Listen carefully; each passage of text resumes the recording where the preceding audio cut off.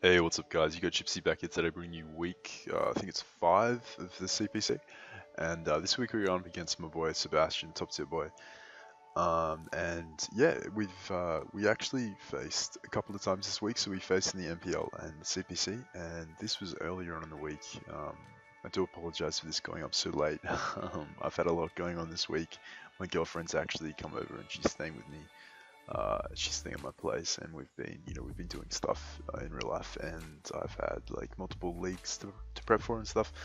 Um, so this is this is quite late as a result of that unfortunately but you know that such is life. Um, so basically yeah at the beginning of the week like Sebastian's really busy with his uni schedule with his college schedule over in America. It's pretty hectic. So we um we needed to get this match done like ASAP and because we we you know the CPC is just like we're, we are like taking it seriously in a sense, but it's also just for us to have a bit of fun. Like we're not taking it all that seriously in comparison to something like the MPL. So we uh we just wanted to get this out of the way so we could have the rest of the week to you know prep accordingly for our MPL match. So um, I didn't really have adequate time. I think I built this team in like an hour or so. Uh, the morning that Seb asked me if I was free. Um, and so we yeah we just threw a pretty fun team together and um, yeah and so here we have the team that Seb brought. So Seb's got um he's got so many threats to my team, so um, because my team is so bulky, uh, it really does struggle with this sort of this sort of like hyper offensive archetype that Seb has. He's got the Mega Absol combined with the Garchomp and the Torn, which just pressure my team so well. Um, and he's also got hazard stacking options in Roserade, which is definitely a big issue for my team, as you guys are going to see. So um, we're going to jump into the match and we'll see what happens. Uh, so I'm going to lead off with my Sylveon, and so I predicted to lead off with this Mega Absol. Just wanting to get that uh, Mega Evolution off, just uh, in case I was like a lead Stunfisk with Stealth Rocks. Um, he, has, uh, he doesn't actually have hazard removal, so him leading with Absol is like his form of hazard removal in a sense. So yeah, cool, cool play on Seb's part. Now, right here, um, I, I make a huge choke turn one. This is going to be a theme of this game. I like I, I choke upon multiple plays, and this this first turn, had I gone for a Calm Mind here, um, I am physically defensive with the iron with the steel reducing berry, so I would have been able to comfortably take two iron tails even if he's like adamant um, in conjunction with the berry.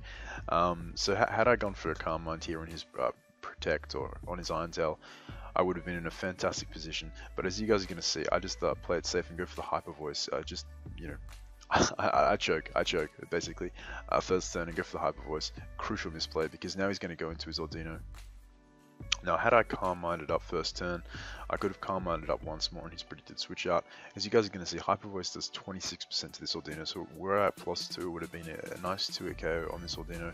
Um, and you know, I would have I would have hyper voice to be honest because Seb likes to run encore on his Audino, so even if he had like encore locked me into hyper voice, I still would have been in a plus two Sylveon and I would have been able to get at least, uh, I would have been able to kill this Audino and get at least one more kill on the rest of his team because as I said, I do have the iron reducing but the steel reducing berry, so even if he wanted to go into something like Cobalion and try and hit me with like a banded iron head, I would have easily been able to tank that with my berry and my defensive investment and get at least two kills with the Sylveon. So that was a very, very uh, costly choke on my part.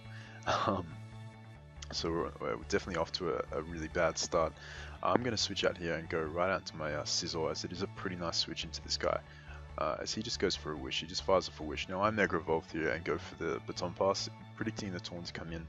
Uh, maybe, maybe even the Garchomp if you want to go into that. Uh, so now I just go out into my uh, Stunfisk. I do apologize, I think it's lagging a bit. Um, and Stunfisk is a pretty nice check to the Torn. Yeah, so we're back. And uh, yeah, Stunfisk is a pretty nice check to the Tornadus, and I, I do predict him to switch out here, or maybe even just go for the U-turn, trying to like, in case I, I do predict him to go out, switch out to Guard Garchomp, and I you know, switch out to something like Kyurem. Uh, he, he, you know, his plays to U-turn here, or not, because he could get the Static Barrier. So I'm just going to fire off my Stealth Rocks. Alright here, uh, you guys are going to see, uh, he does uh, get parried by the, right there by the U-turn. Uh, sorry, I didn't fire Stealth Rocks. I go for Earth Power just in case you wanted to go into his Absol, predicting my rocks there. Now I make another massive choke here, and I I with my Stunfisk, which was an, an amazing check to the Cobalion, to the Absol, to the Torn. Uh, I sack it off to an EQ. While it does allow me to scout the Garchomp's like uh, set because I can determine that he's a life orb variant from the recoil damage that you just took then. Uh, it, it's it definitely wasn't worth the trade. um, yeah, don't don't don't make plays like that. Um, you know, I did have a you know pretty pretty decent switch-ins. I, I guess I guess like in Seb's mind, like I didn't really have answers to an EQ from a life orb chomp, so that, that was a fair enough play in his part. Like th there was just no reason for me to stay in there. Um, I don't really have anything in my team to take a hit from a life orb chomp, so yeah, this is what I'm saying about chomp, just like destroying my team. Um, I, I, I, do have Scarf Kyurem to outspeed, but like you know he has the uh, the little this fucking fairy thing that he can just switch in. Uh, what's it called? Audino. So that's that's definitely an issue. Um, so I'm just going to go into my physically defensive Slaking right here and just fire off an Ice Beam. Uh, as he just switches right out into his Audino here. So uh, this is this is not good. I'm just going to switch out. There's no point staying in here uh, with my defensive Slaking. So he's just going to heal Bell up now. Uh, now this is where I, I, have a pretty nice opportunity to set up a SD right here on his switch out. He goes into his Torn here. Now this is uh, this is another like this is just the third choke. Um, I made three crucial chokes this game, and this is the third and final basic choke. Uh, had I gone for the BP here, um, it was a roll to take him out. It was a relatively low roll. I think it was like 36% to take him out at the at, at max health. Uh, he told me to spread after the game. Um, and even if I hadn't killed him, I, I would have, uh, like say I, I, had missed out on the roll, he would have been in range to die from Life Orb Recoil.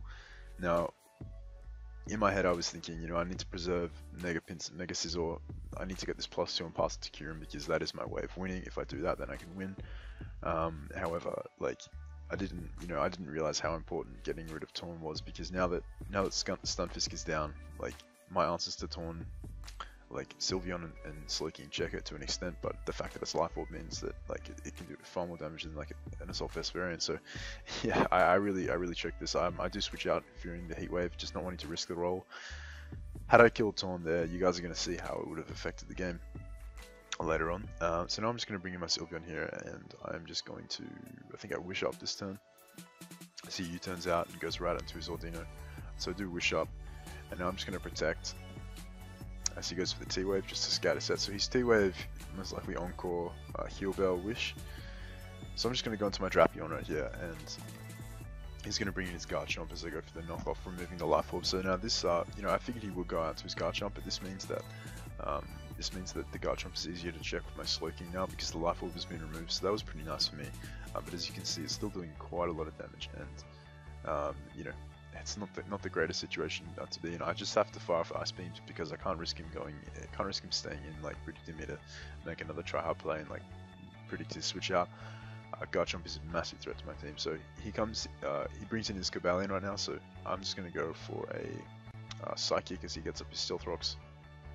It doesn't even do much, and it does 34 because I'm not invested or anything like that.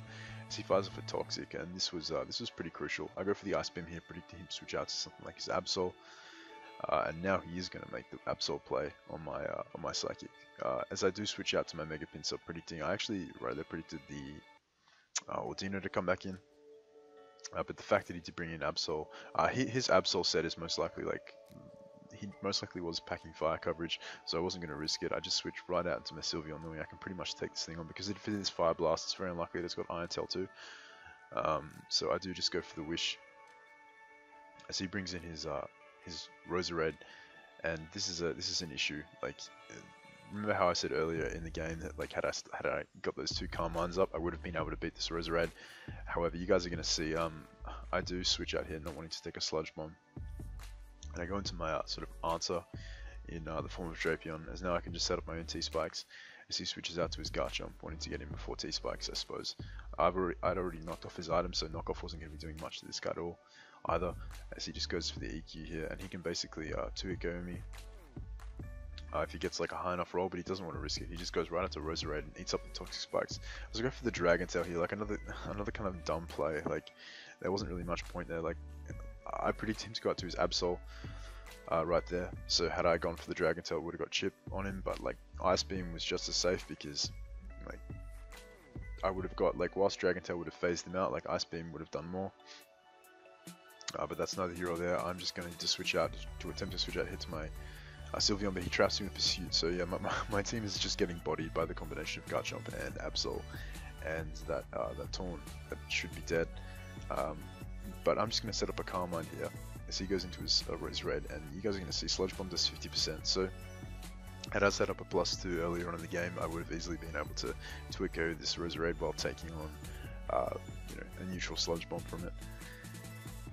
Uh, so right here, I'm just going to Wish Protect to see so that's got spikes on my Protect, which is pretty safe because Hyper Voice isn't even going to be doing too much to this thing. Uh, well, it's going to be doing quite a lot because I'm at plus one, but yeah, he was pretty safe to just go for the spike on my Protect there.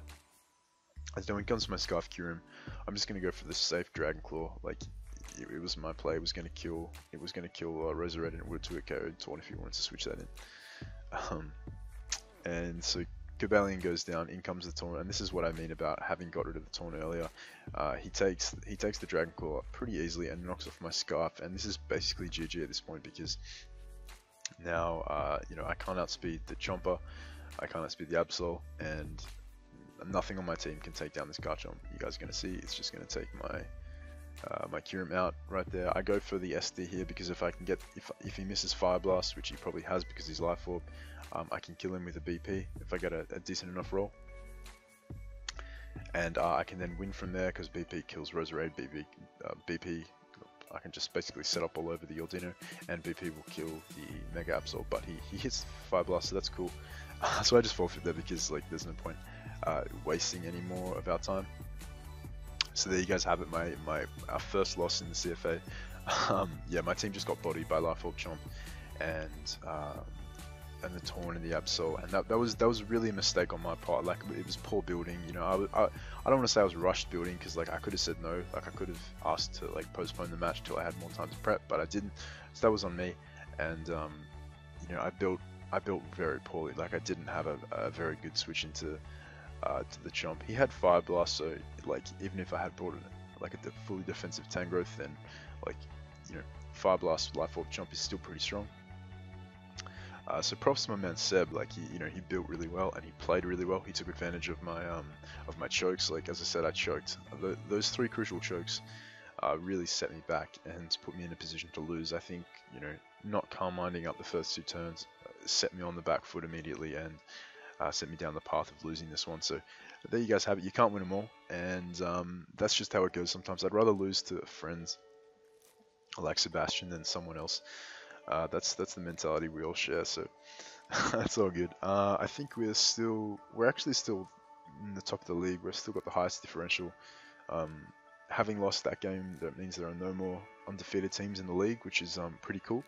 So uh, we are yeah, I believe we're still the highest. We still have the highest like differential overall, so we're still like uh, we're still pretty up there. But um, you know, we'll bounce back next week. I promise. Uh, I do apologize to my fans, my fans, you know, my fans, my friends, um, for that that really poor performance on my part. Uh, you know, I, I, just wasn't really, I wasn't really focused, and I made all those uh, crucial chokes. So uh, it is what it is, but I promise you, boys, we'll bounce back hard next week, and uh, we'll grab ourselves another 6-0 because you know we gotta we gotta we gotta make a statement out there. So stay tuned for my next week's match. Um, and yeah, hope you guys enjoyed, and stay posted for more content. I got CFA semis coming up. I got uh, more recordings for that to do. I'm, I'm so behind in recordings just because uh, I've had a lot of stuff going on in real life, but I hope you guys can understand, and I will be bringing them to you as, as fast as I can. So thanks for watching guys. Hope you have a great day and I will see you next time.